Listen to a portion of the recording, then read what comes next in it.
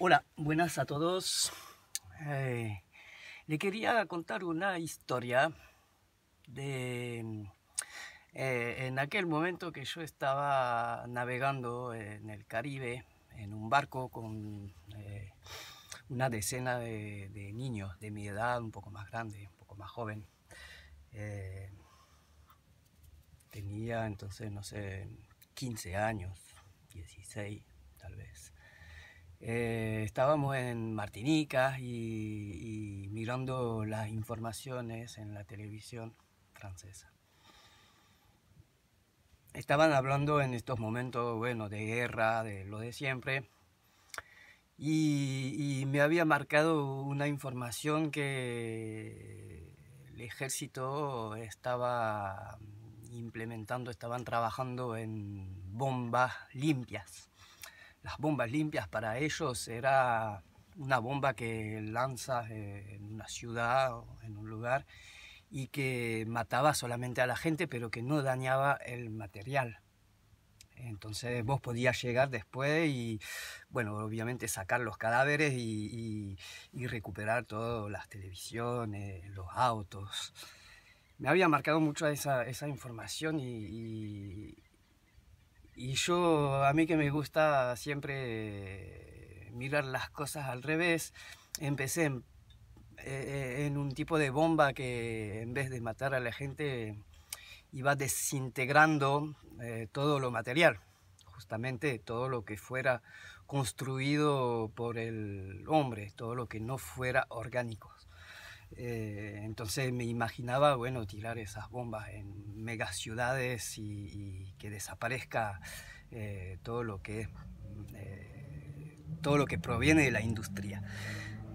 pero también el concreto, todo desaparece. O sea, tirar esa bomba en el medio de la jungla amazónica y no pasa absolutamente nada y, de imaginarme, bueno, esa gente que vive en, eh, uno encima de los otros, en esos edificios, esas torres, que se encontraran en un charco de lodo, porque no hay árboles, no hay nada, esas ciudades que están totalmente... y, y terminarán eh, desapareciendo también porque al encontrarse amontonado en un charco de lodo eh, no, no, quedaba vida. ¿No? Obviamente. Y, bueno, es, es, un... Me recuerdo hoy todavía y, vengo pensando en, eh, en esto que está pasando ahora, que, que, bueno, que es un proceso natural de, la Tierra que, que, decidió decir basta en muchos aspectos. Eh, muchos estamos haciendo bien eh, en dejar que la tierra respire al fin.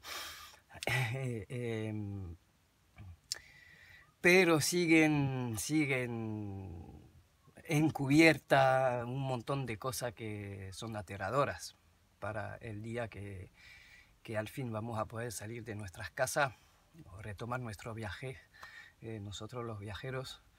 Eh, o sea, sí, sigue, sigue eh, la parte del mal eh, en planes cada vez más diabólicos que obviamente no nos enterraremos eh, solamente en el momento que te venga a decir, mira, vacuna del coronavirus obligatoria para todos y, te metemos un chip también para así controlarlos y, tener un botón para acabar con tu vida, eh, que, así lo manejamos todo.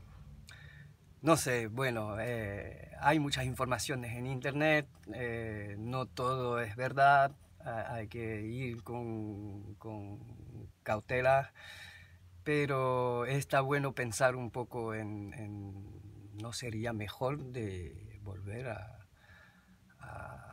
una vida más sana, eh, cuidar los árboles, cuidar la fauna, eh, la selva y, evitar muchas guerras?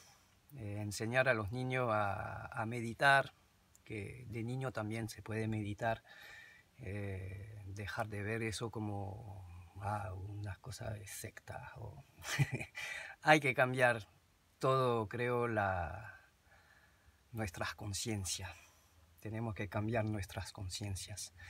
Bueno, eh, espero que les gustó la, historia, la historieta y hasta luego.